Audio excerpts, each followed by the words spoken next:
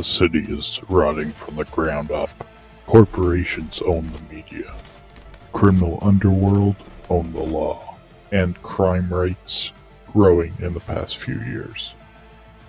Welcome to New Baldor, the city that never dies.